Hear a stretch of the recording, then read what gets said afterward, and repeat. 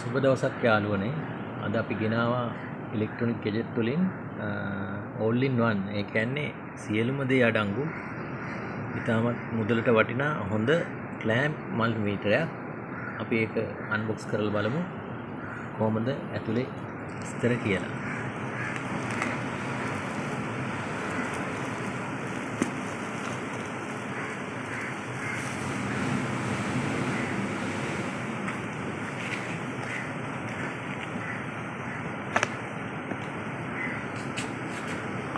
මේක අපි අලි එක්ස්ප්‍රස් එකෙන් තමයි ගෙන්න ගත්තේ. මේකට අපිට ගියා රුපියල් 7200ක වගේ මුදලක්. ඒ මුදලට වටින හින්දා අපි ගෙන්නලා බැලුවා. අපි බලමු කොහොමද මේකේ තියෙන අපිට දීලා තියෙන ෆැසිලිටිස් කොහොමද කියලා. මේක තමයි මීටර එක. පේනවා ඇති. මේ ප්ලෑන්ට් මීටරේ මෙතන තියෙනවා මැනුවල් සෙලෙක්ටරේ ඊට පස්සේ අපිට ඒකින් ඔටෝ රේන්ජ් සෙලෙක්ට් කරගන්න මේ බටන් එක දීලා තියෙනවා. ඊළඟට අපිට හෝල්ඩ් බටන් එකක් මෙතන දීලා තියෙනවා. ඒ වගේම මේකෙන් අපිට මේකේ ඩිස්ප්ලේ එකේ ලයිට් එක දා යොදා ගන්නත් තියෙනවා. මෙතන තියෙනවා මෙන්න මේ පැත්තේ තියෙනවා බලන්න. LED බල්බ් එකක් ටෝච් එකක් වගේ රෑකට මේ ක්ලෑම්ප් එක යූස් කරද්දී පාවිච්චි කරන්න ඒක වටිනවා අපිට. අපි නම් මේක ඔන් කරලා බලමු. ඔන්න උනා.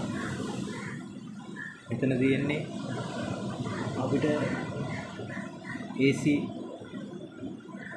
AC ලයින් එක චෙක් කරගන්න පුළුවන්.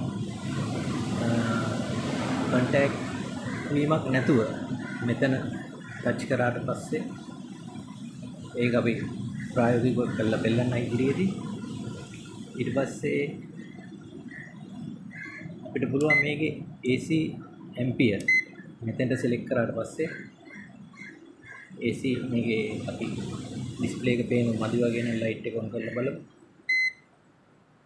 දැන් ඔයාලට පේනවා AC ක්ලෑම්ප් මීටරේට තමයි මේ සිලෙක්ටරේ වැටලා තියෙන්නේ. ඊට පස්සේ මේක අපිට DC සිලෙක්ට් කරගන්න පුළුවන් මෙන්න මේ බටන් එකෙන්.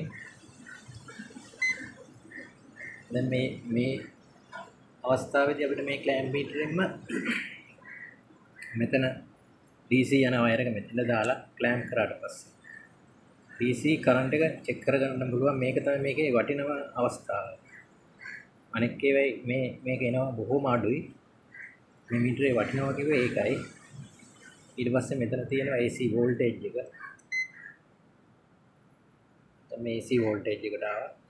ඒක ඊට පස්සේ අපිට DC කරගන්න පුළුවන් මේකේ. මේක ටික වෙලා ගියම ඔටෝ ඔෆ් වෙනවා.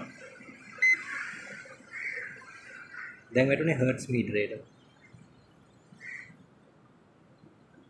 ඊට පස්සේ ආ යටට තමයි DC වෝල්ටේජ් එක තියෙන්නේ.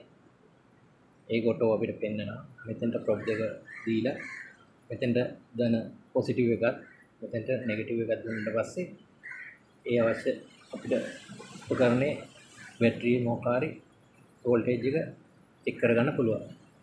ඊළඟ අවස්ථාව මෙතෙන්ට දැම්මට පස්සේ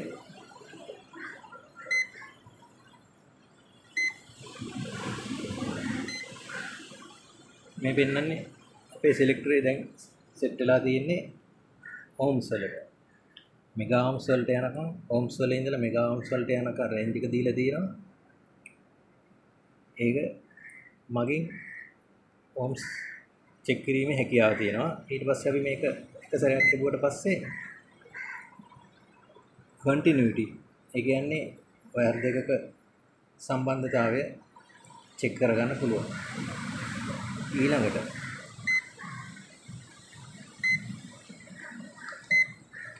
ඊළඟ අවස්ථාවේ ඩයෝඩ් සෙමිකන්ඩක්ටර්ස් චෙක් කරන අවස්ථාව. මේ ප්‍රොබ් දෙක මගින් අර්ධ සන්නායක උපකරණ ඩයෝඩ් ට්‍රාන්සිස්ටර් වගේ දේවල් පරීක්ෂා කරගන්න පුළුවන්. ඊළඟ අවස්ථාව මේ ආවේ කැපැසිටර් චෙක් කිරීමේ පොසිෂන් එකට. මේක මගින් පුළුවන් කැපැසිටර් එකක් මේ ප්‍රොප් දෙක හරහා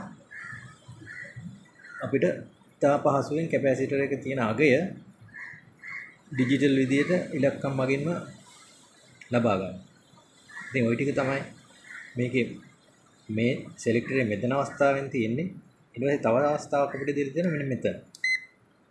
ඒක මගින් පුළුවන් උෂ්ණත්වය සෙල්සියස් අංශක මෙතන වෙලා පෙන්වලා තියෙනවා. බලා ගන්න පුළුවන් සෙල්සියස් 1.5 මේකට හැබැයි අපිට පාවිච්චි කරන්න වෙන්නේ අර සාමාන්‍ය ප්‍රොප් දෙක නෙවෙයි. මේ තියෙන්නේ අර ඉහලින් කලින් මම කතා කරපු අවස්ථාවේ අපිට පාවිච්චි කරන්න දීලා තියෙන මේ ප්‍රොප් වලින් මේකට පාවිච්චි කරන්න වෙනම ප්‍රොප් දෙකක් තියෙනවා.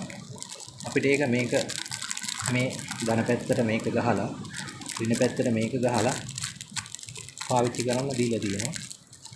ඒක මේ විදිහට අරගෙන මෙතෙන්ට මේක ගහලා ওই විදිහට. මෙන්න මෙතන චූටි. මෙන්න මේකට අපි උණු වතුරයකට හරි මොකකට හරි දාලා අපට අවශ්‍ය උෂ්ණත්වය බලා ගන්න පුළුවන්. අර බලන්න පොඩි වෙනසක් ඇති වෙනවා අපි අතින් අල්ලගෙන හිටියා